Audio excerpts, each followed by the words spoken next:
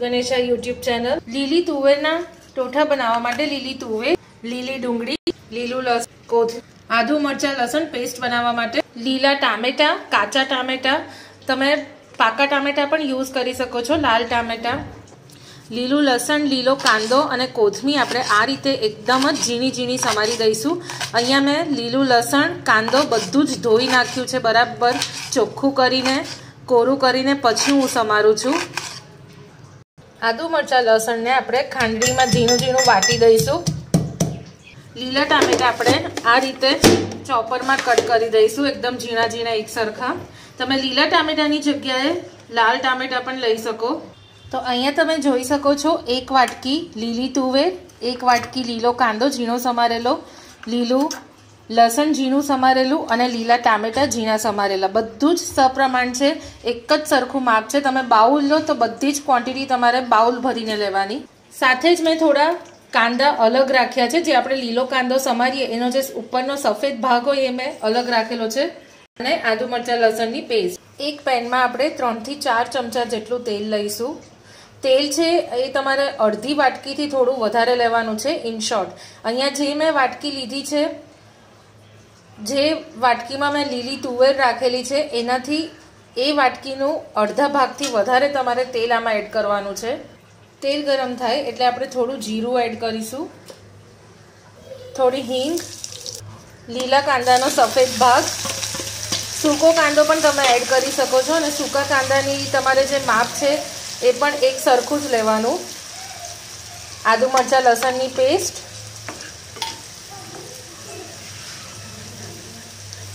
આપણે એકથી બે મિનિટ સુધી સાંતળીશું મીડિયમ ગેસે. એક મિનિટ પછી આપણે લીલું લસણ એડ કરીશું, એક વાટકી જેટલું. તમારે જેટલી તુવેર રાખવી હોય, જે વાસણ ભરીને તમે લીલી તુવેરના દાણા લો, એટલું જ વાસણ ભરીને તમારે બીજી બધી જ વસ્તુ લેવાની. સૂકા કાંદા લઈ શકો, લીલા કાંદાની જગ્યાએ લીલું ટામે, લીલા ટામેટાની જગ્યાએ લાલ ટામેટું લઈ શકો. બે મિનિટ આપણે લસણને ચડવા દઈશું. જ્યારે તમે લસણ એડ કરશો, બહુ જ સરસ સ્મેલ આવશે અને આ લસણ એકદમ ફ્રેશ હતું અને બીજી વસ્તુ એ હતી, આપણે પહેલાં લસણને બરાબર ધોયું, ચોખ્ખું કર્યું અને પછી સમાર્યું. જો તમે લસણ સમારીને ધોશો તો એની જે ટેસ્ટ છે અને એની જે સુગંધ છે એ થોડી ઓછી થઈ જશે. એટલે લસણ હંમેશા ચોખ્ખું કરીને ધોઈને બરાબર પાણીથી પછી જ ઝીણું ઝીણું સમારવાનું. બે મિનિટ લીલું લસણ સંતળાય, એટલે આપણે ઝીણા સમારેલા લીલા ટામેટા એડ કરીશું. હું ચોપરમાં એટલે સમારું છું જેથી એક સરખા થાય અને ફટાફટ સમારાય. લીલા ટામેટા થોડા ખાટા હશે.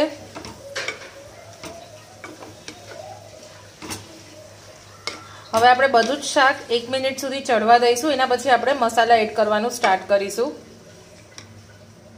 હવે આપણે અડધી ચમચી હળદર એક ચમચી જેટલું લાલ મરચું પાવડર જો તમારે લાલ મરચું ના એડ કરવું હોય અને ખાલી તમારે ગ્રીન કલર જ રાખવો હોય, તો શરૂઆતમાં જ્યારે તમે લા, લીલા મરચાં નાખો, તો લીલા મરચાં થોડા વધારે નાખવાના આદુ મરચાં, લસણની પેસ્ટ બનાવવા માટે. અડધી ચમચી જેટલું મીઠું, એક ચમચી જેટલો ગરમ મસાલો પાવડર જો તમે વધારે માણસો માટે બનાવતા હો, તો શરૂઆતમાં તમે લવિંગ તજ મરી એ બધું તમે એડ કરી શકો છો વઘારમાં.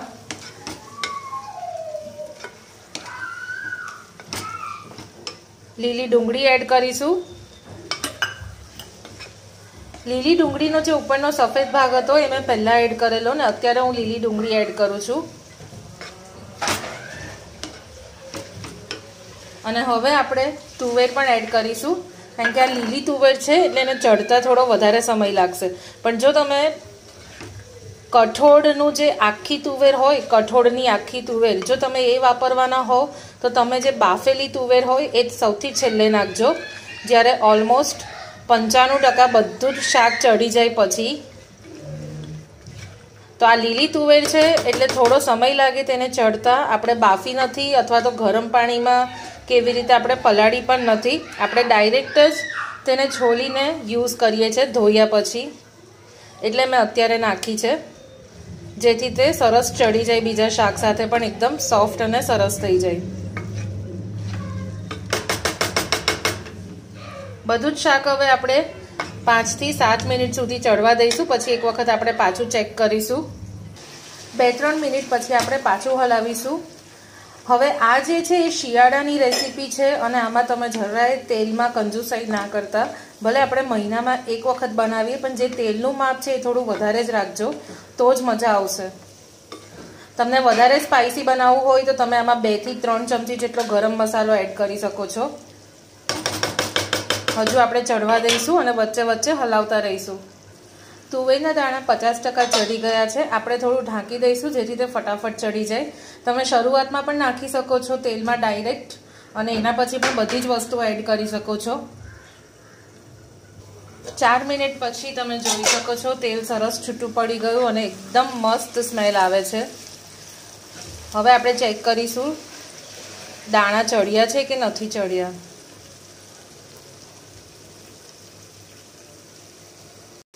હજુ દાણા જોઈએ એવા નથી ચડ્યા. હજુ આપણે થવા દઈશું. બીજી ત્રણ ચાર મિનિટ. પાછું ઢાંકી દઈશું. શરૂઆતમાં ડાયરેક્ટ ના ઢાંકતા. બધો બીજો બધો મસાલો સરસ ચડી જાય તેલમાં. એના પછી જ્યારે આપણે લીલી તુવેર નાખીએ અને બીજી પાંચ મિનિટ આપણે સરખું એને થવા દઈશું. પછી તેલ ધીમે ધીમે છૂટું પડવાની શરૂઆત થાય. પછી જ આપણે ઢાંકીશું. બીજી ચાર મિનિટ પછી આપણે પાછું જોઈશું. જો તમારે ફટાફટ બનાવવા હોય, તો જેમ આપણે વટાણા ઘણી વખત ગરમ પાણીમાં પાંચ મિનિટ કરીને આપણે યુઝ કરીએ છીએ, એવી રીતે તમે લીલી તુવેર પણ ગરમ પાણીમાં પાંચ મિનિટ રાખશો અને પછી નાખશો તો ફટાફટ ચડી જશે. તમે જોયું હવે તુવેર ચડી ગઈ છે. બસ હવે આપણે એકથી બે મિનિટ સુધી આ રીતે ખુલ્લું રાખીશું અને પછી ટોઠા રેડી છે. તો જેવો તમારી જોડે સમય હોય એ રીતે તમે કરી શકો છો. આપણે વધારે નહીં, આપણે બાફવાના નથી તુવેરના દાણા. ખાલી બેથી ત્રણ મિનિટ સુધી આપણે ગરમ પાણીમાં એને ચડવા દઈશું. એટલે જ્યારે તમે અને પછી પાણીમાંથી નીતારીને થોડા કોરા થાય, પછી આપણે આમાં એડ કરીશું તો તમારે ફટાફટ ચડી જશે. હવે કમ્પ્લીટલી ચડી ગયા છે. ઇઝીલી બધા જ દાણા બ્રેક થઈ જાય છે. જોઈ શકો છો તમે. હવે આપણે ગેસ બંધ કરી દઈશું. આમાં ઉપરથી છેલ્લે તમે લીંબુનો રસ નીચવી શકો છો, અડધોથી એક જેટલો. પણ હું નથી નીચવતી અહીંયા, કારણ કે ઓલરેડી ટામેટા જે હતા એકદમ જ ખાટા હતા, લીલા ટામેટા. અને એ સિવાય ગોળ પણ તમે એડ કરી શકો છો. પણ અમને વધારે સ્પાઇસી ભાવે છે. એટલે એટલું બધું પણ સ્પાઇસી નહીં. પણ સ્પાઇસી ટેસ્ટ ભાવે છે સ્પાઇસી ફ્લેવર ભાવે છે, એટલે હું અહીંયા નથી એડ કરતી. હવે આપણે થોડી કોથમી એડ કરી દઈશું. થોડી કોથમી આપણે છેલ્લે એડ કરીશું. ટોઠા સાથે તમે બ્રેડ અથવા તો પછી રોટલા, બાજરીના રોટલા બનાવી શકો છો. તો અહીંયા અહીંયા હું બ્રેડ બનાવું છું, અમને બ્રેડ વધારે ભાવે છે ટોઠા સાથે એટલે.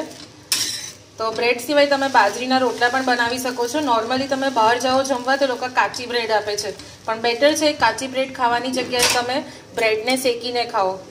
ઘી, તેલ અથવા તો બટરમાં એને થોડી શેકીને ખાશો તો વધારે સારું પડશે અને એનો ટેસ્ટ પણ સરસ આવશે. ટોઠા કાઢ્યા પછી આપણે ઉપરથી થોડા ડુંગળી એડ કરીશું. થોડી સેવ એડ કરીશું. અને કોથમી ઝીણી સમારેલી. તો આ ટોઠા તમે એક વખત જરૂર ટ્રાય કરજો અને બહુ જ ટેસ્ટી લાગે છે.